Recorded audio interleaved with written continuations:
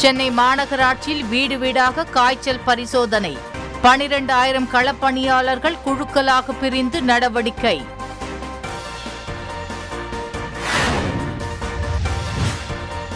கர்நாடகாவில் இரண்டாவது நாளாக தொடரும் போக்குவரத்து ஊழியர் வேலை நிறுத்தம் தமிழகத்திலிருந்து பெங்களூர் செல்ல கூடுதல் பேருந்துகள் இயக்கம்.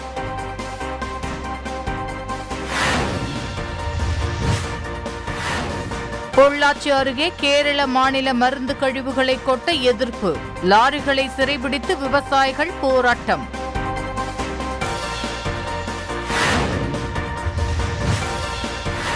வேதாரண்யத்தில் உற்பத்தி செய்யப்பட்ட ஐந்தாயிரம் டன் உப்பு தேக்கம். ஏற்றுமதி வாய்ப்பை ஏற்படுத்தி தர மத்திய அரசுக்கு கோரிக்கை.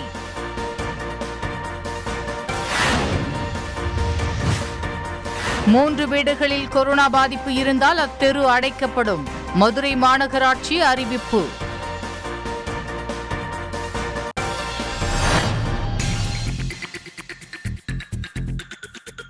சென்னையில் கொரோனா பரவல் காரணமாக இன்று முதல் பனிரெண்டாயிரம் களப்பணியாளர்கள் மூலம் வீடு வீடாக காய்ச்சல் பரிசோதனை செய்யப்படுகிறது.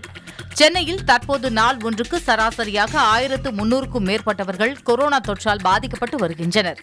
இந்த பரவலை கட்டுப்படுத்தும் விதமாக கட்டுப்பாட்டு பகுதிகள் அமைக்கப்பட்டு பாதிக்கப்பட்டவர்களுடன் தொடர்பில் இருந்தவர்களை கண்காணிக்க நடவடிக்கை மேற்கொள்ளப்பட்டு வருகிறது. குறிப்பாக பனிரெண்டாயிரம் கள பணியாளர்கள் மூலம் பெருநகர சென்னை மாநகராட்சிக்கு உட்பட்ட பகுதிகளில் வீடு வீடாக சென்று காய்ச்சல் பரிசோதனை நடத்தப்பட உள்ளது. இந்த பரிசோதனையில் யாருக்காவது காய்ச்சல் அறிகுறி இருந்தால் அவர்களுக்கு கொரோனா பரிசோதனை செய்ய திட்டமிட்டுள்ளனர்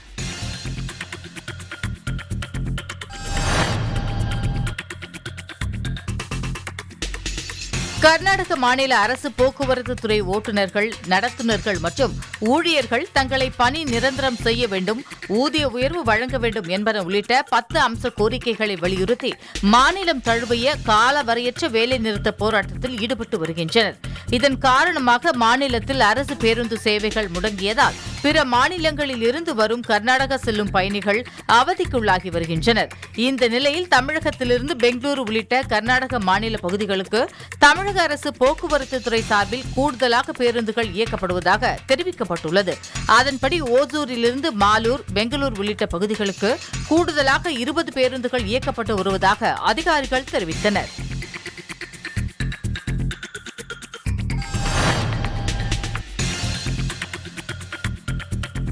பொள்ளாச்சி அருகே தமிழக கேரள எல்லைப்பகுதியில் மருத்துவ கழிவுகள் கொட்டிய லாரிகளை விவசாயிகள் சிறைப்பிடித்து போராட்டத்தில் ஈடுபட்டனர்.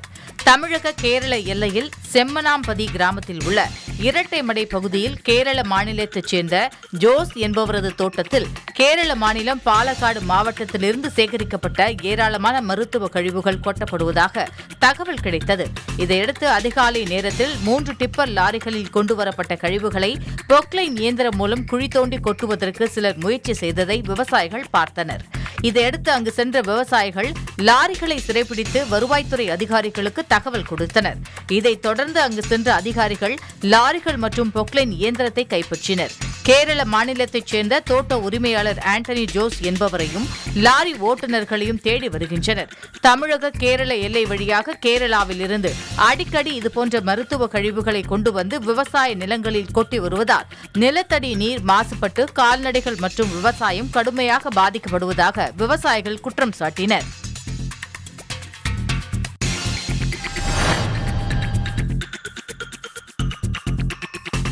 நாகை மாவட்டம் வேதாரண்யம் பகுதியில் அதிக அளவில் உப்பு உற்பத்தி செய்யப்படுகிறது. அகஸ்தியன் பள்ளி கோடியக்காடு கோடியக்கரை போன்ற இடங்களில் சாப்பாட்டு உப்பு உற்பத்தி சுமார் மூன்றாயிரம் ஏக்கரில் செய்யப்பட்டு வருகிறது. பருவமழையால் பாதிக்கப்பட்ட உப்பள பாத்திகள் சீரமைக்கப்பட்டு கடந்த ஒரு மாதமாக உப்பு உற்பத்தி நடைபெற்று வருகிறது.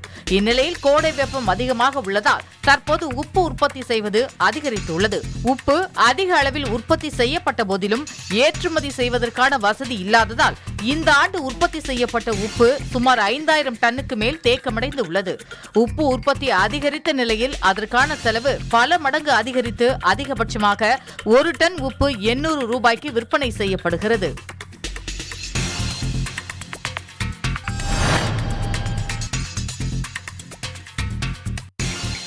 கொரோனா வைரஸ் தொற்று இரண்டாம் அலை நாடு முழுவதும் மிக தீவிரமாக பரவி வரும் நிலையில் பல்வேறு முன்னெச்சரிக்கை நடவடிக்கைகளை மத்திய மாநில அரசுகள் மிக தீவிரமாக எடுத்து வருகின்றன.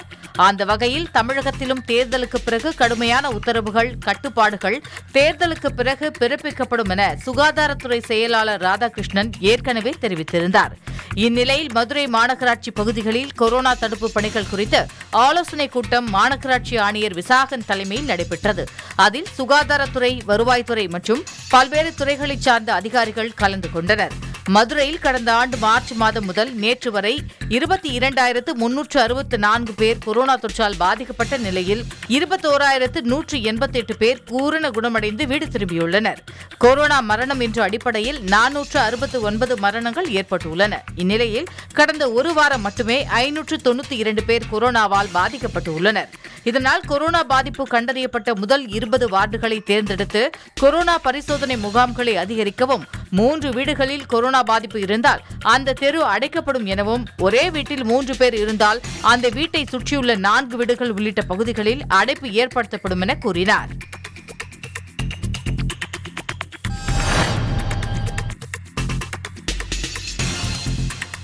திண்டுக்கல் மாவட்டம் நிலக்கோட்டை பேரணை வைகை ஆற்றிலிருந்து சின்னாலப்பட்டிக்கு செல்லும் குடிநீர் திட்ட குழாய்களில் பல இடங்களில் உடைப்பு ஏற்பட்டு தண்ணீர் வீணாகி வருகிறது.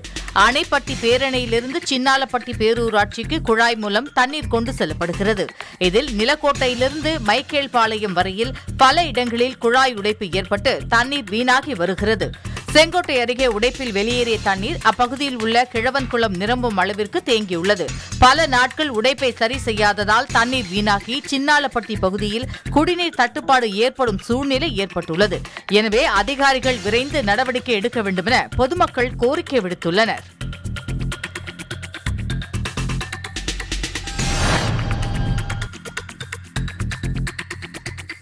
காஞ்சிபுரம் மாவட்டம் உத்திரமேரூர் அடுத்த தலவாராம்பூண்டி ஊராட்சியில் நூறுக்கும் மேற்பட்ட குடும்பங்கள் உள்ளன. இந்த கிராம மக்களின் குடிநீர் தேவைக்காக சுமார் ஒரு கிலோமீட்டர் தொலைவில் குளம் உள்ளது. அந்த குளத்தின் நீரையே கிராமவாசிகள் தங்களது குடிநீர் ஆதாரமாக பயன்படுத்தி வந்தனர். இந்த தகவலை அறிந்த தனியார் தொண்டு நிறுவனம் ஐந்தாயிரம் லிட்டர் கொள்ளளவு கொண்ட தண்ணீர் தொட்டியை கிராமத்திற்கு வழங்கியது. ஆனால் ஊராட்சி நிர்வாகம் இதுநாள் வரை தண்ணீர் தொட்டியை குடிநீர் குழாயுடன் இணைக்காமல் காட்சி பொருளாகவே கிடப்பில் வைத்துள்ளது. கோடை காலம் என்பதால் வயதானவர்கள் நோயாளிகள் கடும் சிரமத்திற்கு உள்ளாவதாக கிராம மக்கள் கூறுகின்றனர்.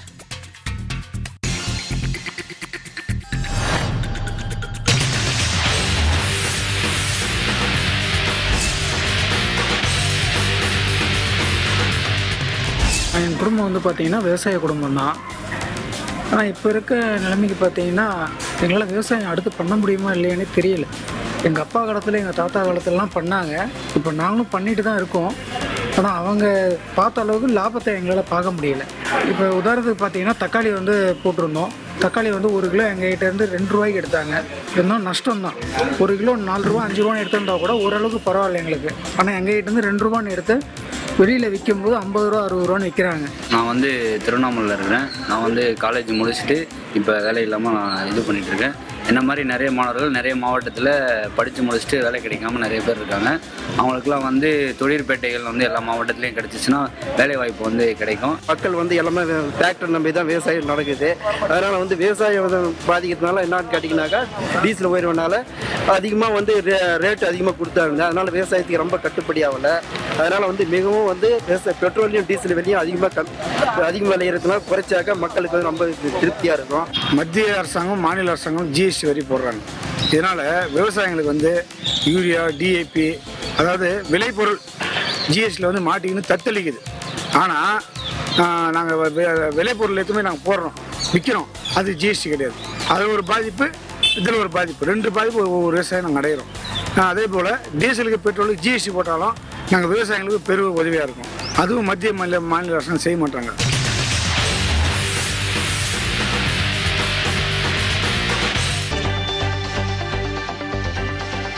ராமநாதபுரம் மாவட்டம் கமுதி அருகே நெருஞ்சிப்பட்டி கீழவலசை செங்கப்படை உள்ளிட்ட சுற்றுவட்டார பகுதியில் விவசாயிகள் மானாவாரி பயிராக மிளகாய் பயிர்களை பயிரிட்டு சாகுபடியில் ஈடுபட்டு வருகின்றனர். இந்த நிலையில் மிளகாய் செடிகள் நன்றாக வளர்ந்து உள்ளதால் விவசாயிகள் மிளகாய் பழங்களை பறித்து காய வைப்பதற்கு உலர்களம் இல்லாததால் மல்லட்டாறு தடுப்பணைகளில் மிளகாய் பழங்களை காய வைத்து வருகின்றனர். சம்பந்தப்பட்ட மாவட்ட நிர்வாக அதிகாரிகள் உரிய நடவடிக்கை எடுத்து உலர்களம் அமைத்துக் கொடுக்க வேண்டுமென விவசாயிகள் கோரிக்கை விடுத்துள்ளனர்.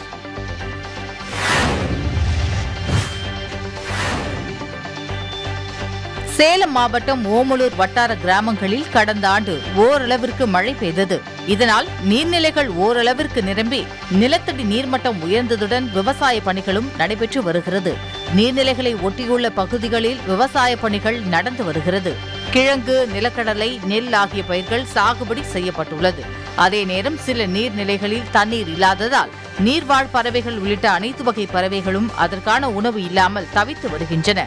அதனால் பறவைகள் இறைக்காக விவசாய வயல்களில் இறங்கி தங்களுக்கு தேவையான உணவை எடுத்துக் கொள்கின்றன. அதிலும் மயில்கள் நாரை கொக்கு நீர்க்காகங்கள் போன்ற பறவைகளுக்கு போதுமான இறை கிடைப்பதில்லை. இதே நிலை நீடித்தால் பறவைகள் அனைத்தும் வேறு பகுதிக்கு இடம்பெயர்ந்து சென்றுவிடும் நிலை ஏற்பட்டுள்ளது.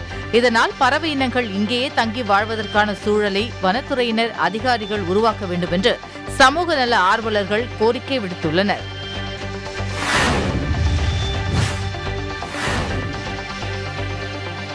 சேலம் மாவட்டம் ஓமலூர் மற்றும் காடையாம்பட்டி வட்டாரத்தில் கடந்த ஆண்டு மழை பெய்ததால் ஆங்காங்கே ஒரு சில நீர்நிலைகளில் குறைந்த அளவில் தண்ணீர் தேங்கியுள்ளது.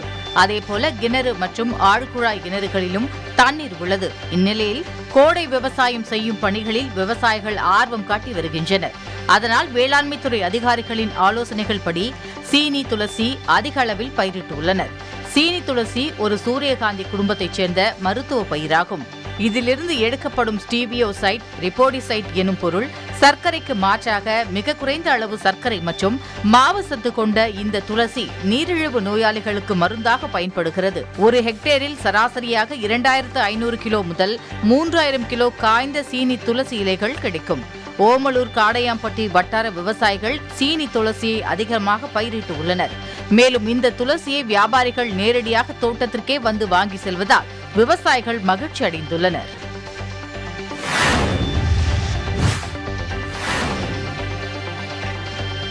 வாக்குப்பதிவு இயந்திரத்தை டூ வீலரில் எடுத்துச் சென்ற விவகாரத்தில் நான்கு பேருக்கு போலீசார் சம்மன் அனுப்பியுள்ளனர். சென்னை வேளச்சேரி தரமணி நூறடி சாலையில் வாக்குப்பதிவு இயந்திரத்தை இருசக்கர வாகனத்தில் எடுத்துச் சென்ற புகாரின் பேரில் மெட்ரோ வாட்டர் உதவி பொறியாளர் செந்தில்குமார் மேஸ்திரி வேளாங்கண்ணி ஊழியர்கள் துலசிங்கம் வெங்கடேசன் ஆகியோருக்கு வேளச்சேரி போலீசார் சம்மன் அனுப்பியுள்ளனர். வரும் பனிரெண்டாம் தேதி விசாரணைக்கு ஆஜராகுமாறு சம்மன் அளித்திருப்பதாக போலீசார் தெரிவித்துள்ளனர்.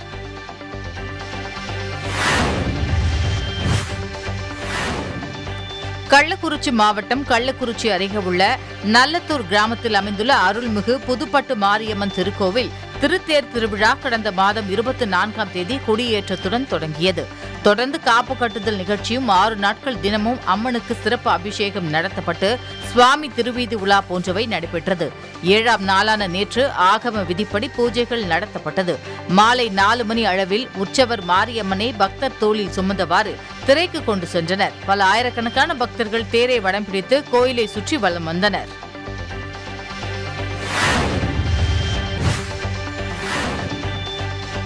கும்பகோணத்தில் வாக்காளர்களுக்கு பணத்திற்கு பதிலாக மளிகை சாமான்கள் வாங்க இரண்டாயிரம் ரூபாய் டோக்கன் கொடுத்ததாக அம்மா மக்கள் முன்னேற்றக் கழகத்தைச் சேர்ந்த பிரமுகர் கனகராஜ் மீது தேர்தல் துறையினர் வழக்கு பதிவு செய்துள்ளனர். கும்பகோணம் பெரிய தெருவில் பிரீமியம் ஏஜென்சிஸ் என்ற தனியார் மளிகை கடை உள்ளது. இக்கடைக்கு கடந்த சனிக்கிழமை முதல் அவரது கடையின் பெயரை போட்டு இரண்டாயிரம் ரூபாய் என ஒரு கூப்பனை பொதுமக்கள் பலர் எடுத்து வந்து மளிகை பொருட்களை இலவசமாக கேட்டுள்ளனர். இதற்கு பதிலளித்த மளிகை கடை உரிமையாளர் எனக்கும் இந்த டோக்கனுக்கும் எந்தவித தொடர்பும் இல்லை என கூறியதுடன் இதை எழுதி கதவிலும் ஒட்டியுள்ளார். இதைத் தொடர்ந்து கும்பகோணம் கிழக்கு காவல் நிலையத்தில் கடையின் உரிமையாளர் அளித்த புகாரின் பேரில் காவல்துறையினர் அம்மா மக்கள் முன்னேற்றக் கழகத்தைச் சேர்ந்த கனகராஜ் மீது வழக்கு பதிவு செய்து விசாரணை நடத்தி வருகின்றனர்.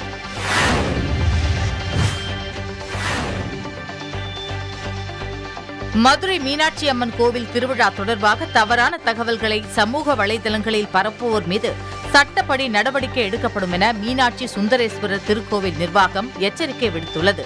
மீனாட்சி திருக்கோவில் சித்திரை பெருவிழா தொடர்பாக கோவில் நிர்வாகம் தரப்பில் இதுவரை எந்த அழைப்பிதழும் நிகழ்ச்சி நிரலும் வெளியிடப்படவில்லை எனவும் கோவில் நிர்வாகம் வெளியிட்டதாக யூடியூப் மற்றும் வாட்ஸ்அப் உள்ளிட்ட சமூக வலைதளங்களில் வைரலாகி வரும் நிகழ்ச்சிக்கும் கோவில் நிர்வாகத்திற்கும் எந்த சம்பந்தமும் இல்லை எனவும் கோவில் நிர்வாகம் தெளிவுபடுத்தியுள்ளது.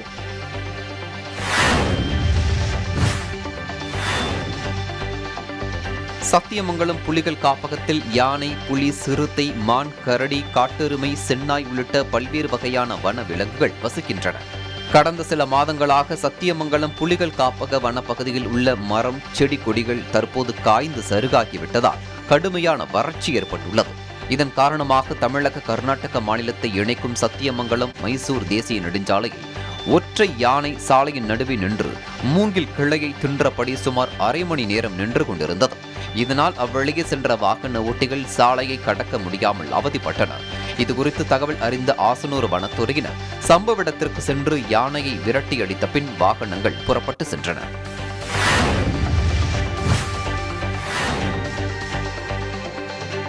தமிழக சட்டப்பேரவை தேர்தலின் போது ஏற்பட்ட தகராறில் அதிமுகவினரை தாக்கியதாக திமுக மாவட்ட துணை செயலாளர் ஸ்ரீனிவாசன் மீது ஐந்து பிரிவுகளின் கீழ் வழக்கு பதிவு செய்து தலைமறைவாக உள்ள ஸ்ரீனிவாசனை ஓசூர் நகர காவல்துறை தேடி வருகின்றனர்.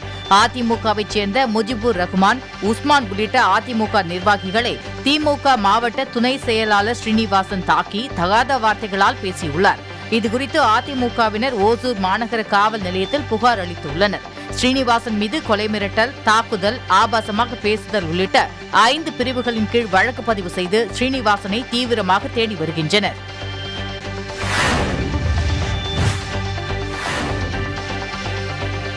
ஈரோடு மாவட்ட மக்களின் முக்கிய நீர் ஆதாரமாக உள்ள பவானிசாகர் அணைக்கு தினம்தோறும் ஆயிரக்கணக்கான வாகன ஓட்டிகள் வந்து செல்கின்றனர். சத்தியமங்கலம் அடுத்த புஞ்சை புளியம்பட்டி பண்ணாரி சாலையில் பவானிசாகர் அணையின் முன்புறம் பவானி ஆற்றில் குறுக்கே கட்டப்பட்ட பாலம் பழுதடைந்து ஓட்டை விழுந்ததால் கடந்த நான்கு ஆண்டுகளுக்கு முன்பு இந்த பாலத்தின் வழியாக போக்குவரத்திற்கு தடை செய்யப்பட்டது.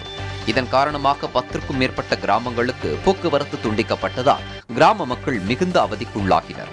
இந்நிலையில் பழுதடைந்த பாலத்திற்கு பதிலாக புதிய பாலம் கட்ட கடந்த இரண்டு ஆண்டுகளுக்கு முன்பு நெடுஞ்சாலைத்துறை சார்பில் எட்டு கோடி ரூபாய் நிதி ஒதுக்கீடு செய்யப்பட்டு புதிய பாலம் கட்டுமான பணிகள் தொடங்கப்பட்ட நிலையில் பாலம் கட்டும் பணி ஆமை வேகத்தில் நடைபெறுவதால் தற்போது கட்டுமான பணி பாதியிலேயே நிற்கிறது.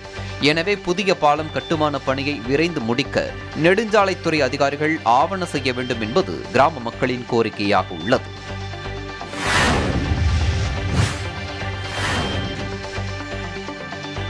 திருவண்ணாமலை மாவட்டம் ஆரணி அடுத்த அக்ராபாளையம் கிராமத்தைச் சேர்ந்த ஜெயந்தன் என்பவர் ஆரணி டவுன் பகுதியில் அடகு கடை நடத்தி வருகிறார். இவருடைய மனைவி ஹேமலதா பஜார் வீதியில் கடைக்கு சென்றபோது மணிவண்ணன் என்பவர் ஹேமலதாவை தகாத வார்த்தைகளால் பேசி கையை பிடித்து இழுத்துள்ளார். இதனால் மணிவண்ணனை கைது செய்யுமாறு போலீசாரிடம் கணவர் ஜெயந்தன் புகார் அளித்துள்ளார். ஆனால் மணிவண்ணனை கைது செய்யாததால் ஆத்திரமடைந்த ஜெயந்தன் மற்றும் அவரது உறவினர்கள் ஐம்பதுக்கும் மேற்பட்டோர் ஆரணி நகர காவல் நிலையத்தின் முன் அமர்ந்து மணிவண்ணனை கைது செய்ய கோரி முற்றுகை போராட்டத்தில் ஈடுபட்டனர். அப்போது டிஎஸ்பி கோடீஸ்வரன் மணிவண்ணனை கைது செய்வோம் என்று உறுதியளித்ததன் பேரில் முற்றுகையில் ஈடுபட்ட உறவினர்கள் கலைந்து சென்றனர்.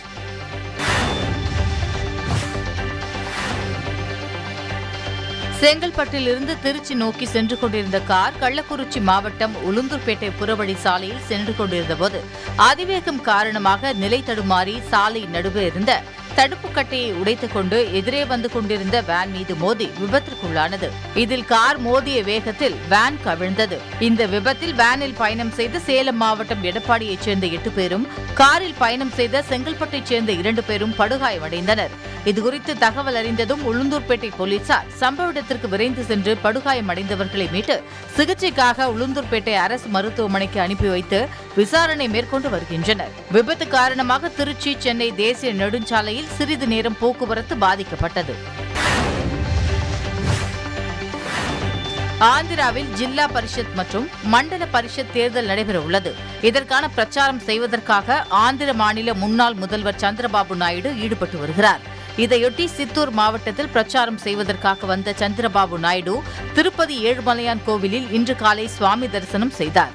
பின்னர் கோவிலுக்கு வெளியே செய்தியாளர்களிடம் பேசிய சந்திரபாபு நாயுடு மாநிலத்தில் உள்ள மக்கள் அனைவரும் நல்ல ஆயுள் ஆரோக்கியத்துடன் இருக்க வேண்டும் எனவும் கொரோனா வைரஸ் தொற்றிலிருந்து அனைவரும் மீள வேண்டும் என சுவாமியை வேண்டிக் கொண்டதாக தெரிவித்தார். பின்னர் திருமலையில் உள்ள பாலாஜி நகரில் தேர்தல் பிரச்சாரம் மேற்கொண்டார்.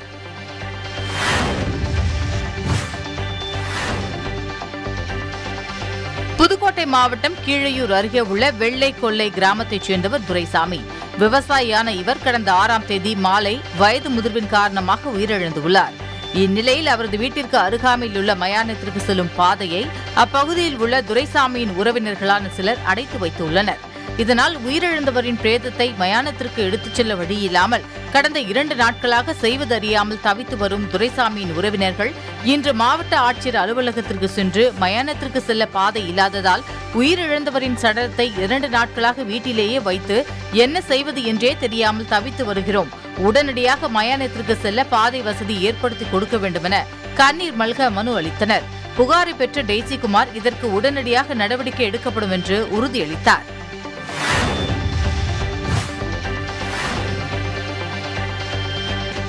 சிவகங்கை மாவட்டத்தின் நான்கு சட்டமன்ற தொகுதிகளுக்கான வாக்கு எண்ணிக்கை மையம் காரைக்குடி அழகப்பா பொறியியல் கல்லூரியில் அமைக்கப்பட்டுள்ளது.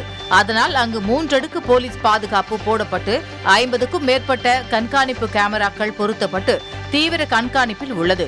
பொறியியல் கல்லூரியில் பணியாற்றும் பணியாளர்கள் வழக்கம் போல் பணிக்கு வந்தனர். ஆனால் அவர்களை வாயிலில் நின்ற காவலர்கள் உள்ளே நுழைய அனுமதிக்கவில்லை. நாங்கள் அனைவரும் பணியாளர்கள் என்று கூறியும் அனுமதி மறுத்ததால் சிறிது நேரம் காவலர்களுடன் வாக்குவாதத்தில் ஈடுபட்டனர். இதுகுறித்து தகவல் அறிந்த கல்லூரி முதல்வர் மாவட்ட ஆட்சியரிடம் கலந்து ஆலோசித்து முடிவெடுப்பதாக பணியாளர்களிடம் கூறியதால் அமைதியாக கலைந்து சென்றனர்.